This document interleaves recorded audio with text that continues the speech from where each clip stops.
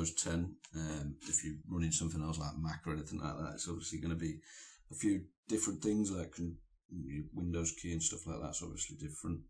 Uh, you're going to need a micro SD card reader, um, a 16 gigabyte micro SD card, uh, the Raspberry Pi 3 uh, B or B plus. I'm using the Pi 3B, which is the version 7L ARM processor on there for this video.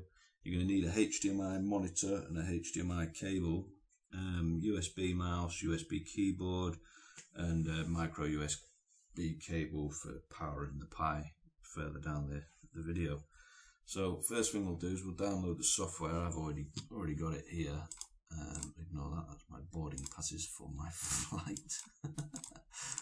um, but yeah, so first thing you want to do is you want to go to um, a website to download an SD card formatter, which does a better job than the standard formatter. Um, if you type in SD card formatter, can go to this website here, and if you go down here and click either for Windows or Mac,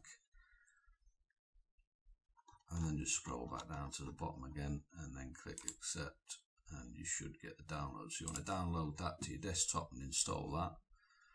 Next thing you're going to need is a program called Etcher, um, which you can get here. Um, that's the x64. If you need to do it, download for a different OS, then you've got the options by clicking the arrow. And also, we are going to need PuTTY, which is putty.org. So you can see if you click on this link and then down the version, download the one that you need. And finally, VNC Viewer. Yes, VNC Viewer. And you've got your different operating systems here and download the most recent one. So once you've got all them, install them. Um, so you've got SD card formatter, Etcher, PuTTY and VNC Viewer. And then the next thing you're going to need to do is download the Raspberry Pi OS, um, which you can find on their website. if you go down to this one here, Raspberry Pi desktop, and then click download ISO or ISO. Um, that's the. Have I got that one? Got another one? Why is that a different one? Hmm. Hang on a second. Sorry, yeah, click this link here.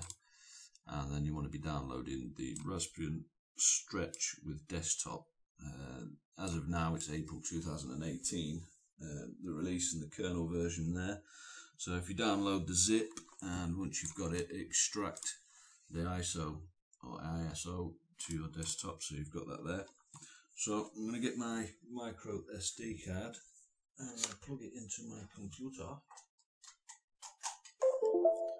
And first thing I'm going to do is open up SD formatter. Sounds a bit loud. Turn that down.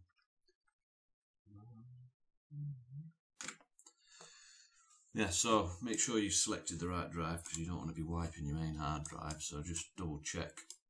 Make sure you've got USB drive, which is M drive in my case. So select the right drive.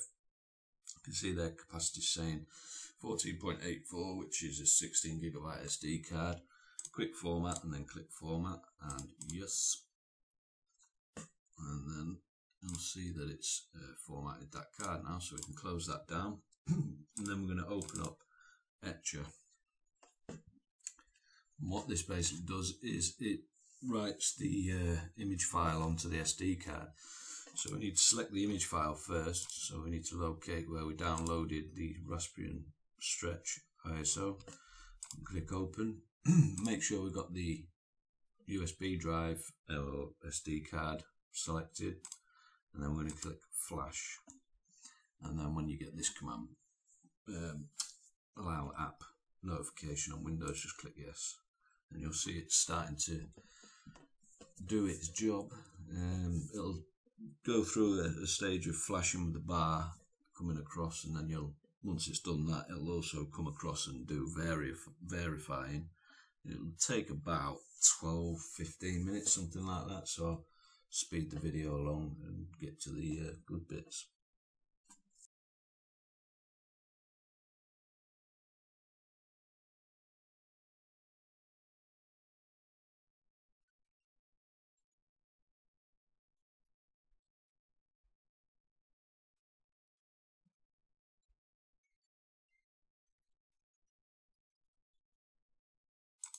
Okay, so now that's done, um, we can close this and we want to make sure we eject the SD card properly.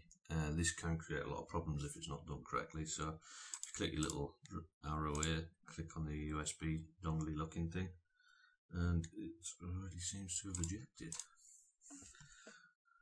Okay.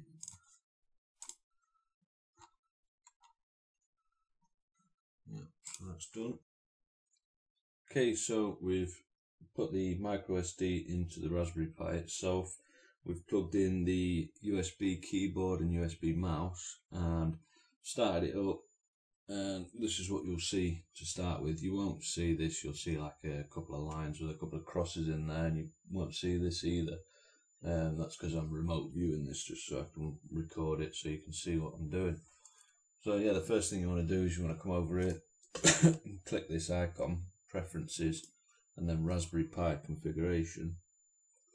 And in this bit here you want to click interfaces and want to en enable SSH and VNC uh, and then localization you want to set your um, local where you are basically um, your time zone again and also your keyboard. So you've got the right keyboard setting for your region and then click OK and you'll see this in the top once you've enabled VNC and that SSH. So you want to click on your lines with the crosses here and then click on your internet, um, what's it called, access point. And then type in your password. And then once you've done that just click on this VA and it'll tell you here the IP address for the Raspberry Pi itself. You want to make a note of that for later um, so you can SSH directly in from your PC. Um, so when that's all done, um, just come out of this. Uh, also, sorry, you want to set yourself a password as well, so it's password protected. So if you click here and then options, change this um, change this here to VNC password and it'll ask you to type the password in. And that's it yeah that's for all the basic settings for setting up the Raspberry Pi.